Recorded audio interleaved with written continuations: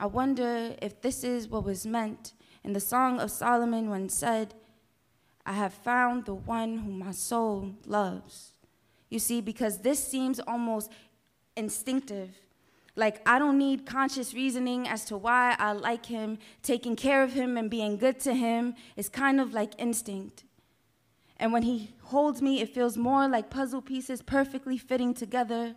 I never thought that I would want a fairy tale love story. I wasn't sure if I even believed in them until I met him. And then I realized that I was only and then I realized that I was only settling instead of manifesting. I said that I wanted to be selfish about him, but he is almost too good to keep to myself too much light to keep enclosed. He is too good of a man for you not to know that I have finally found someone who makes me feel like home.